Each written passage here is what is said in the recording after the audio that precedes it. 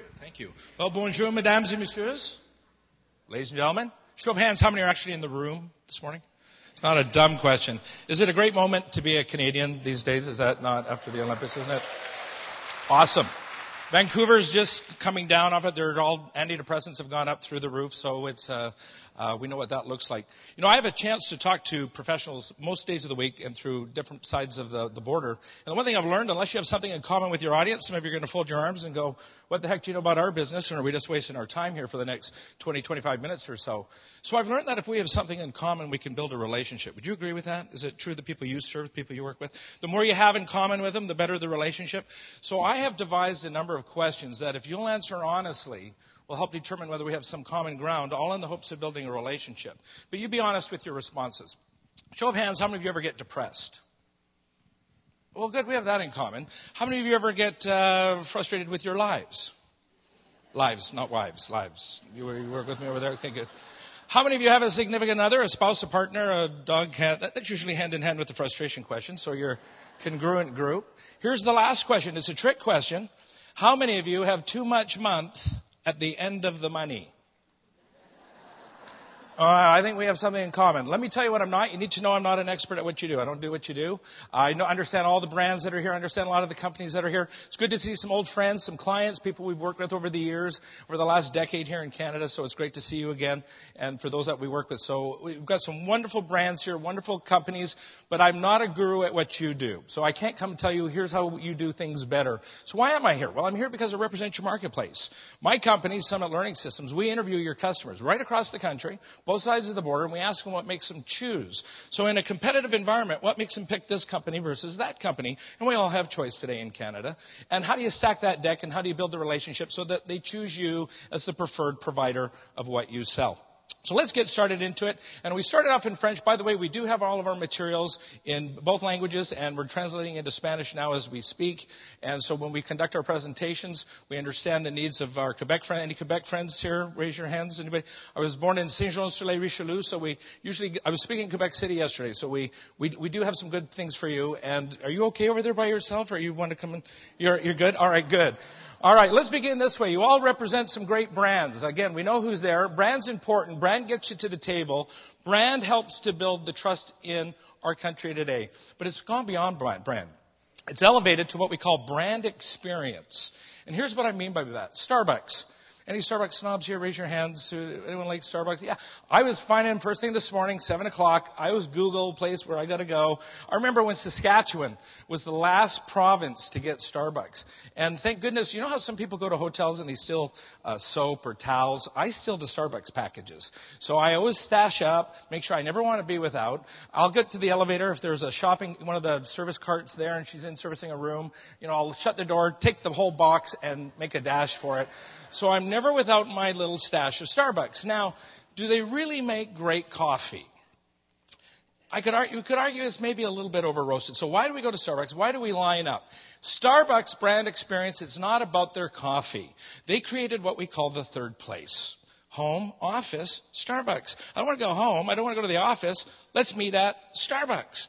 It's the meeting place. And in Canada, you're either a Tim's person or you're a Starbucks person, but it doesn't really matter. But that's what the brand experience is all about.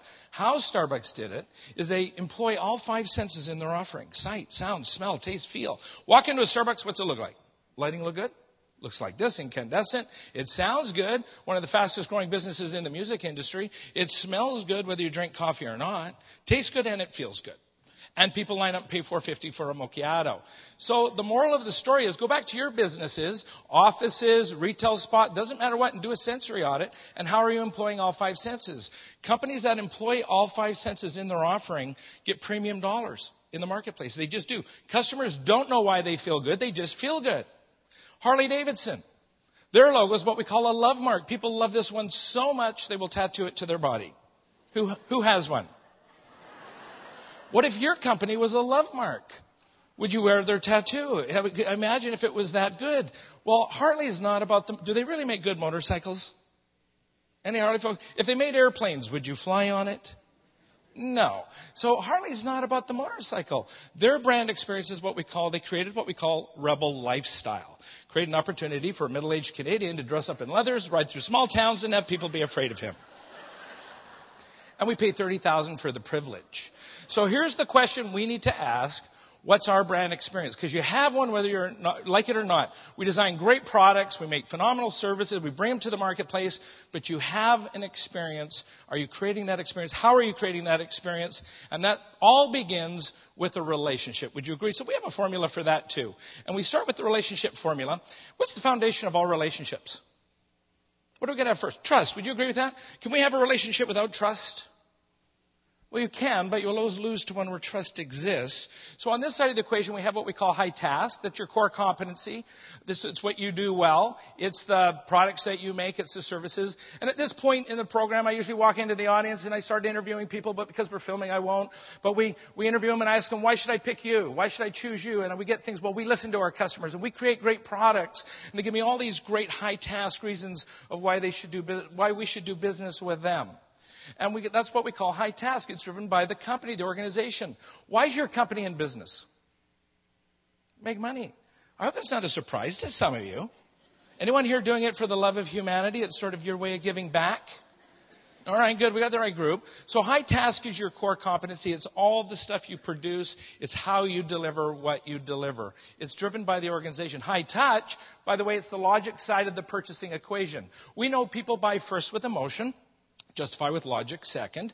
But the question is, how are we selling? How are we servicing? They do the homework with their head, but they pull the trigger with their heart. And are we pulling those emotional triggers? So that's the high task side. On the high touch side, I say, what do you do to exceed expectations? This is where I get blank stares. And they're like, well, we listen to our customers. I go, shouldn't we be listening? Well, we deliver, we do what we say we're going to do. Well, shouldn't we do that? So, in the interest of time, let me share with you some stories of what I think high touch is all about. But before I do that, let me give you an example. Give me three nationally branded companies, three that everybody knows has amazing service. Yell them out. Yell them out. Go ahead. Airline industry, who? Yeah, we get WestJet, we get JetBlue, we get Disney, we get Nordstrom's, we get FedEx, we get Four Seasons, we get Starbucks, we get all kinds of, we get Dell, we get Lexus. Next question, do you ever ask those companies for a discount? You ever ask them for a discount? Nor will you get one. So what we have to do in our companies and organizations is we got to look at the best of breed. Who's the best of breed? We just named a few. Here's us, whoever we happen to be, and we have a gap. And your job's to close that gap. Now the bad news is you probably won't close the gap. Those companies will probably stay ahead of you. But if you focus on closing the gap, guess who you'll stay miles ahead of? Your competition, your competitors, because they're looking at you. Pull your heads up out of your business. Don't look in your business for excellence.